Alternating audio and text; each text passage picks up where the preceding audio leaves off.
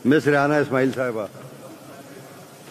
करारदाद बरए तराफ़ खदमात और शहादत इसमाइल हानिया।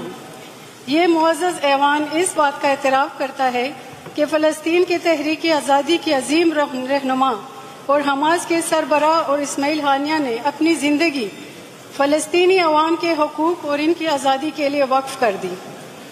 इनकी क़्यादत में हमास ने फ़लस्तीन अवाम के हकूक़ की जदोजहद में नुमाया किरदार अदा किया और जुल्म और जबर के खिलाफ भरपूर मुजामत की। ये ईवान इसमाइल हानिया की शहादत पर गहरे दुख और अफसोस का इजहार करता है और इनकी बेमिसाल खदमात को खराज तहसीन पेश करता है। इनकी शहादत फ़लस्तीनी तहरीक आज़ादी के लिए एक अजीम नुकसान है और इनका नाम हमेशा तारीख में एक अजीम मुजाहिद और फ़लस्तीनी कौम के हीरो के तौर पर याद रखा जाएगा।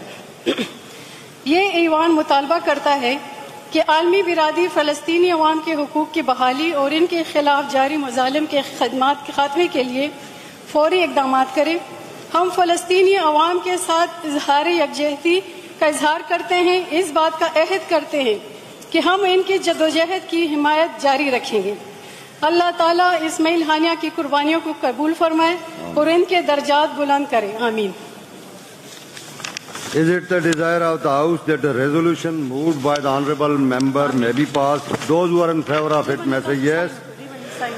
Those who are against it may say no. Ayes have it. The resolution is passed unanimously.